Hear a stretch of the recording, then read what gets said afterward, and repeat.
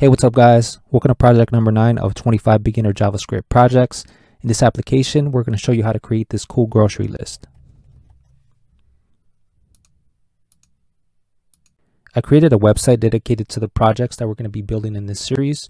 You can find it at jsprospect.com. I also talk a little bit about the technologies that you need to become a web developer. And you can even access the tutorials directly from here. So if you wanted to watch this one, just click it and you can watch the tutorial here. If you want to learn more about these projects, you can click here. And I wrote a small article that talks about each project. You could even test the project out before you build it. So let's say that you wanted to test this one out. You can click here and you can test out the project. If you want to learn how to host your applications the way I did here, I wrote an article that shows you how to do it. So just click on this link and it's going to take you to this article, host your website for free with GitHub Pages. And here I show you the steps that you need to take to host your application on GitHub Pages. There's only four steps, so it's actually very simple to do.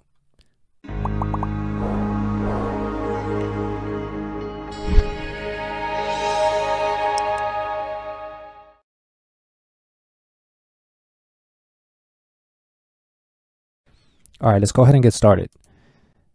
Let's create a folder. Let's call this one groceries. And let's open up our Visual Studio. Let's open that folder. Now let's create our three files. index.html, style.css, and script.js.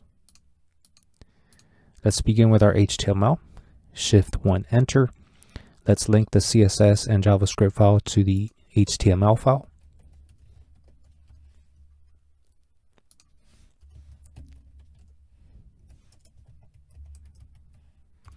And we are going to use Font Awesome for this project. So let's go grab the Font Awesome CDN. You're going to click on the link by cdnjs.com. Let's copy this first URL. This is the latest version of Font Awesome. And we're going to paste it up here.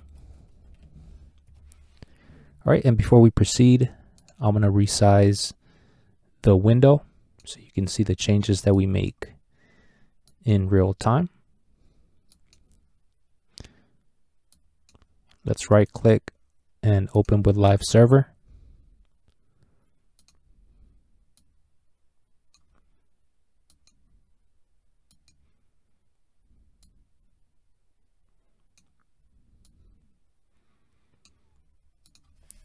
All right, let's get started here inside the body. We're going to create a container. We know that we need a pair of div tags for that. So let's give this a class of container. And within this container, we're going to create another one. So let's create another pair of div tags.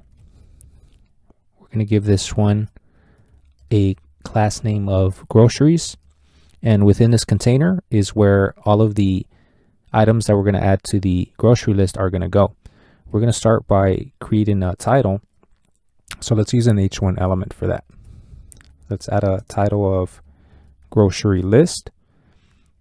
And let's place this title in the center using text align center. And right below this, we're going to create another pair of div tags. And in here, we're going to add an icon and an input box. So let's search for an icon. Let's go to Font Awesome. Let's click on this icons link. And we're going to search for a pencil. Go ahead and choose whatever icon you want. I'm going to go with this pencil here. I'm going to copy the HTML for that. And I'm going to paste it here. And right next to it, we're going to create an input box. Let's give it an ID. Let's call it user input. And we're also going to give this div element some styling. Let's use text align center. And let's also create a space between the title and the input box. So let's go back up here, create a BR element, And let's create another one underneath the input box. All right, let's create another pair of div tags. This is where our grocery list items are going to go. We're going to leave this empty for now, but we are going to add an ID so we can access this through JavaScript later in the project.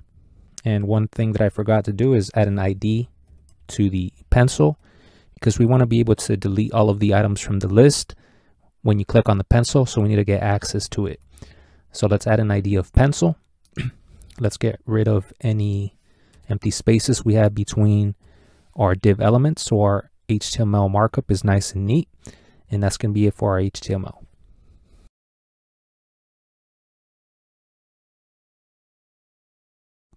All right, let's get started with our CSS. We're going to start by removing any padding and margin from our elements.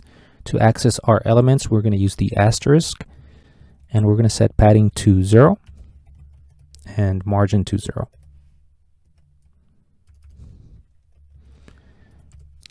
All right, let's change the font family. But for this project, the font that I want to use is not open source, so we won't be able to use the Google Font API. If you want to use this font, you're going to have to install it in your computer. It's called Mumbler's Demo Font. Let's go ahead and search for that. And I'm sure you can download it for free from any of these websites. I'm going to go ahead and go with this blogfonts.com one. Click download. And once you download it, it's going to come in a zip file. Go ahead and extract the files from it. This is going to be one of the files that's going to come in it. To install it in Windows 10, just go down here, type font settings, and drag and drop the file in here. I already have it installed, so I'm not going to install it, but it's as easy as that. If you have another operating system, I'm sure the process is not too different, so just figure out how to do it. It shouldn't be too difficult.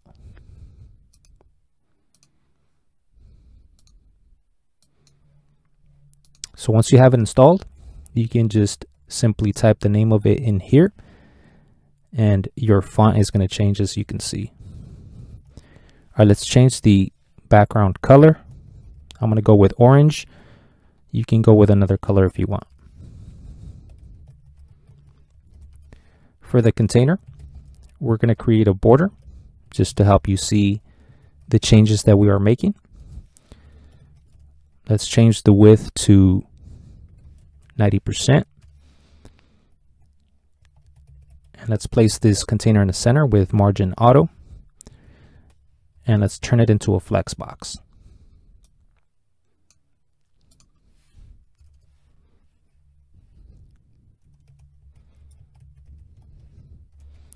For the groceries container, we're also going to create a border to help you see what we are doing here.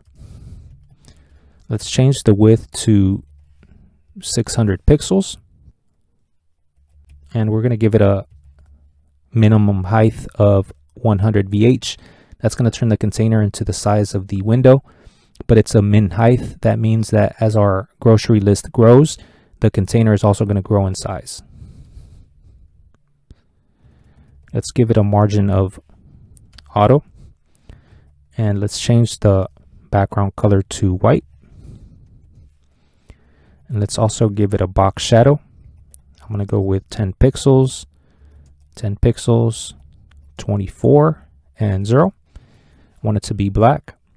Let's hover this and we're going to give it an RGBA value of 0.5. All right, we can go ahead and remove this border now.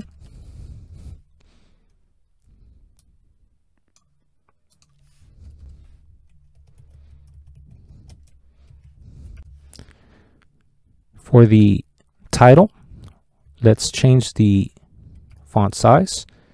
Let's go with 2.5 rem. And let's also bring it down a little bit from the top so it's not so close to the edge. I'm going to go with 1em.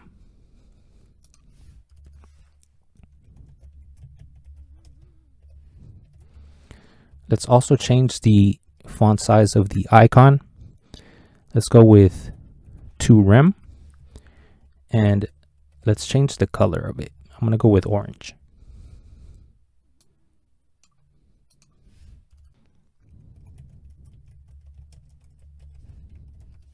Notice that the input box doesn't have this font. So we want it to have that font. So let's change the font family and we're going to use inherit.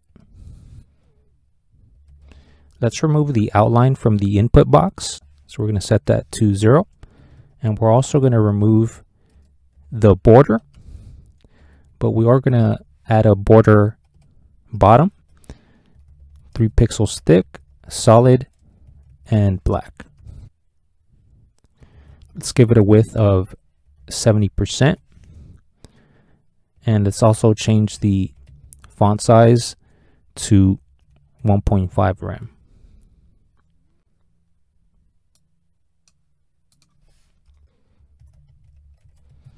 And we're going to give some features to the H2 element of the all items container. We haven't created this yet. We're going to do so with JavaScript, but we want to give it some features here. Let's go with a margin left of 50 pixels so it's not so close to the edge over here. And we're also going to use margin right so it's not so close to the edge over here either just in case the user writes a long grocery list item. And we want to create a space between all of the grocery list items. So let's add a margin top of 15 pixels. Let's also change the font size to 2 rem. And I noticed that the margin didn't work here. So let me go back up here and see what I did. Notice that here I should include it a S. So, all right, there we go. That looks better. right, so this is what we're going to go with. Let's just make sure it looks good on a phone as well. So let's search for responsive design testing. Let's click on this and control V. And I think it looks good at 480. And if it looks good at 480, it usually looks good when it's bigger as well. So that looks good. We're just going to change the font size of the title. We're going to make this smaller. We're going to change the font size of this and of course of the grocery list items as well. So let's take care of that.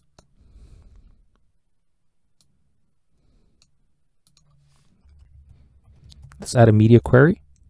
This is going to be activated at 480 pixels. So let's change the font size of the title. Currently we have 2.5 rem we're going to go with 2 rem. So we're just going to bring it down by 0.5. Let's copy this four times. This is going to be our icon. Currently we're at 2 rem for that. We're going to bring it down by 0.5 as well. And for the input box, we're at 1.5 rem. So we're going to bring it down to 1. And for the H2, that's holding all of the grocery list items. Let's change this to all items. That one currently is at 2 rem, so we're going to change this to 1.5.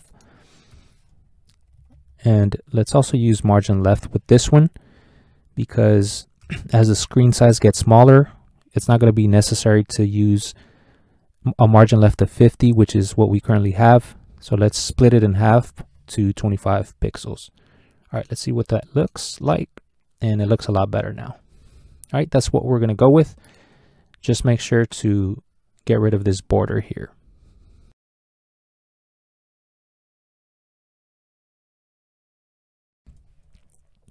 All right, let's knock out the JavaScript. We're going to start by getting access to the elements that we created in our HTML file. Let's start with the groceries container we're going to get access to that by using get elements by class name. And this is the only element that we created that we called groceries, so we're going to include a zero there. Now let's get access to the pencil icon. We gave that an ID name of pencil. Now let's get access to all of the items. Currently, we don't have any, of course. We gave that container an ID of all items. And last but not least, we want to get access to the input box here. That way when a user enters an item, we'll be able to grab that item.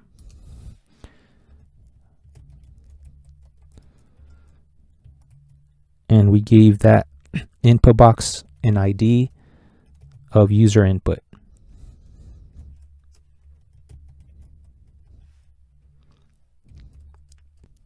All right, we're going to add an event listener to this pencil here. So if the user wants to delete the list, they can just click on this button. So let's use add event listener. This is going to be activated on a click. And to delete the items, let's just get access to them through our all items variable. And we're going to set the inner HTML to an empty string. All right, that's going to delete all the items from the list. Now let's add an event listener to the input box so the user can click on the enter key to enter a new item on the list.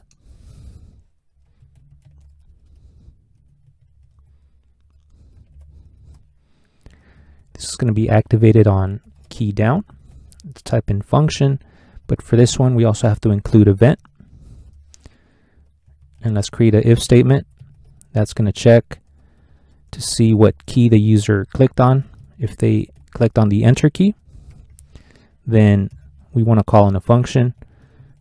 Let's call it add item. And let's create that function now.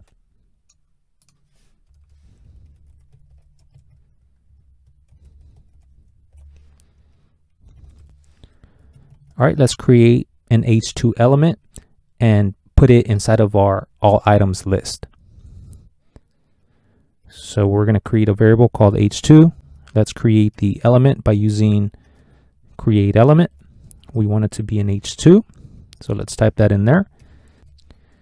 And we're going to set the inner HTML of this h2 element equal to the user input. Of course, we have access to that through the user input variable.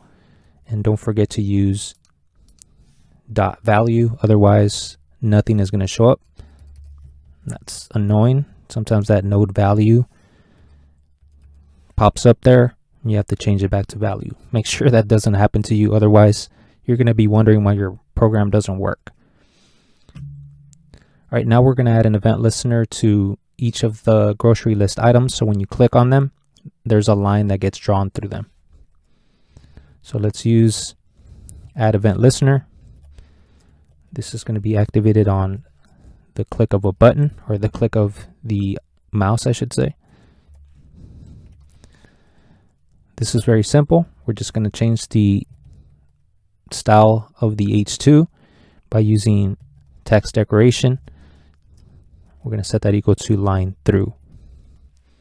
So now when you click on one of the grocery list items, there's going to be a line that gets drawn through them.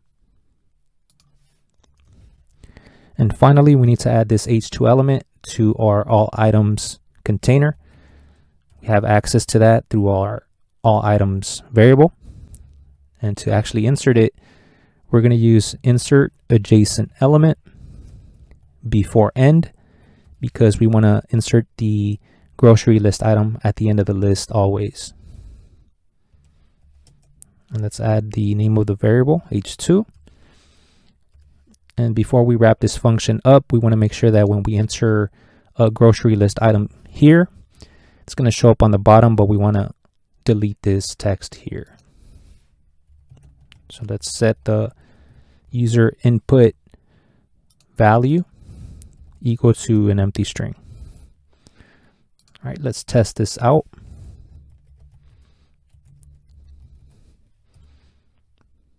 All right, that's working.